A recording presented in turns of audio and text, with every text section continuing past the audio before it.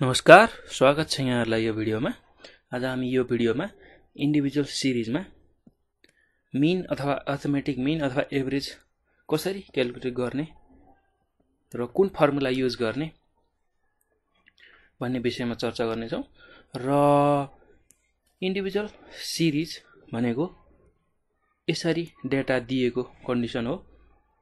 यसरी डाटा हामीलाई यस्तो फर्ममा डाटा दियो भने त्यो इन्डिभिजुअल सिरिज भन्ने बुझ्छौँ। र यो भनेको अनग्रुप्ड डाटा हो अथवा र डाटा हो। यसरी इन्डिभिजुअल सिरिजमा यो डेटा दिँदाखेरि यसलाई र डाटा अथवा अनग्रुप डाटा भन्छौँ। र डाटा भनेको एसेन्डिङ अथवा डिसेन्डिङ अर्डर अफ म्याग्निच्युडमा एरेन्ज नभएको भनेको बढ्दो या घट्दो क्रममा डेटालाई मिलाएर नराखिएको। र डाटा भन्नुको मतलब डाटा नमिलाइकन राखिएको भन्ने बुझिन्छ। र अर्थमेटिक मिन अथवा एभरेज अथवा मिन इन्डिभिजुअल सिरिजमा क्यालकुलेट गर्न हामीसँग दुईवटा फर्मुला छ। एउटा डाइरेक्ट मेथड भन्छौँ एउटा खालि फर्मुलालाई। र अर्कोलाई इन्डाइरेक्ट मेथड अथवा सर्टकट मेथड भन्छौँ। र मिन भनेको जहिले पनि sum of the observation divide by number of observation.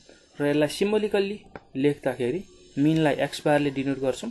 र सम अफ द अब्जर्भेसन भनेको अब्जर्भेसनलाई यसरी हामी X one X two dot dot X N भनेको डिफ्रेन्ट भ्यालु अफ भेरिएबल पनि भन्छ जसलाई अब्जर्भेसनलाई र यसरी यो value x one plus x two plus dot dot dot plus x n यो अब्जर्भेसनको सम हो डिभाइड बाई एन भनेको नम्बर अफ अब्जर्भेसन हो। र यो भ्यालु भनेको समेसन भ्यालु हो जसको काम भनेको भ्यालुहरूलाई एड गर्नु हो भन्ने बुझिन्छ। भनेको यो भ्यालु यो भ्यालु यो भ्यालु यसरी भेरिएबलको भ्यालुहरूलाई एड गर्ने भन्ने बुझिन्छ। र त्यसै गरी समेसन एक्स भनेको सम अफ द अब्जर्भेसन हो। र यसरी यही फर्मुलाको युजबाट X bar equals to summation X by N यो फर्मुलाको युज गरेर हामी डाइरेक्ट मेथडबाट इन्डिभिजुअल सिरिजमा मिनलाई क्यालकुलेट गर्न सक्छौँ। र त्यसै गरी अर्को छ इन्डाइरेक्ट मेथड जसलाई सर्टकट मेथड पनि भनिन्छ अथवा चेन्ज अफ ओरिजिन पनि भनिन्छ। किनभने यो जुन क्वान्टिटी छ डी भन्ने इजिकस टु एक्स माइनस ए यसलाई नै हामी चेन्ज अफ ओरिजिन भन्छौँ। र त्यसको लागि x bar इजिकस to a plus summation d by n यो फर्मुला छ। एक्स बार भनेको मिन हो र ए भनेको एजुम मिन हो। भनेको मानिएको मिन एउटा एक्ज्याक्ट मिन यो एक्स बार हो एउटा चाहिँ मानिएको मिन हो। र त्यो मिन दुई तरिकाले लिन सकिन्छ। एउटा मिडल भ्यालु डाटाको मिडल भ्यालुलाई एजुम गर्न सकिन्छ। एजुम मिन भनेर। र अर्को भनेको इनिसियल र फाइनल अब्जर्भेसनको एभरेज लिएर एजुम मिन लिन सकिन्छ। भनेको सुरुको अब्जर्भेसन र फाइनल अब्जर्भेसन त्यो दुइटालाई सम गर्ने र डिभाइड बाई टू गर्दाखेरि जुन भ्यालु आउँछ त्यसलाई नै एजुम मिन त्यसरी पनि लिन सकिन्छ। र डी भन्ने छ डेभिएसन डेभिएसन भनेको एक्स माइनस ए र एक्स भनेको अब्जर्भेसन अथवा भेरिएबल माइनस एजुम मिन गऱ्यो भने त्यसले डेभिएसन दिन्छ यसलाई नै हामी चेन्ज अफ ओरिजिन भन्ने गर्छौँ। र एन भनेको नम्बर अफ अब्जर्भेसन हो। र यो नै हाम्रो इन्डिभिजुअल सिरिजमा अर्थमेटिक मिन अथवा एभरेजलाई क्यालकुलेट गर्ने फर्मुलाहरू हुन्। र यही फर्मुलाको युजबाट मैले तपाईँहरूलाई योभन्दा अगाडि र योभन्दा पछाडिका भिडियोहरूमा यसको प्रब्लमहरू गराएको छु।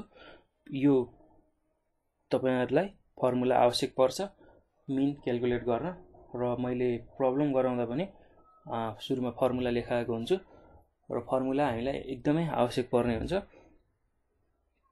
मिन मिडियन मोड हामीले जे क्यालकुलेट गऱ्यो भने र यही फर्मुला तपाईँहरूलाई याद हुनुपर्छ मिन क्यालकुलेट गर्न। र यही फर्मुलालाई याद गर्नुभयो भने मिनलाई सजिलै क्यालकुलेट गर्न सक्नुहुन्छ। यो फर्मुला हेर्नु होला यसलाई अब याद गर्ने कोसिस गर्नु होला याद गर्नु होला। सजिलो छ फर्मुला र फर्मुलाको मिनिङहरू पनि मैले तपाईँहरूलाई यहाँ भनिदिएको छु। यो मिनिङहरूलाई नि याद राख्नु होला यसले गर्दा तपाईँहरूलाई सजिलो हुन्छ। र सजिलो छ फर्मुला सम्झिनु पनि र यसै गरी यो फर्मुला हेरिसकेपछि योसँग रिलेटेड प्रब्लम मैले भिडियोहरूमा राखिदिएको छु। त्यो पनि हेर्नु होला त्यो गर्नुभयो भने तपाईँले इजिली अर्थमेटिक मिन क्यालकुलेसन बुझ्नुहुनेछ र तपाईँहरूलाई कुनै पनि प्रब्लम आयो यसरी फर्मुला पढ्दा अथवा प्रब्लम हेर्दाखेरि भने हामीलाई सम् सम्झाउन सक्नुहुन्छ। त्यसको लागि nine eight four nine five nine five eight nine five यो हाम्रो पर्सनल नम्बर र त्यसै गरी हाम्रो Facebook page statistics learning Nepal यो फेसबुक पेजमा पनि तपाईँ जोडिएर आफ्नो जिज्ञासा मेटाउन सक्नुहुन्छ र यो भिडियो हेरिसकेपछि यसलाई लाइक सब्सक्राइब र सेयर गर्न नभुल्नुहोला। धन्यवाद।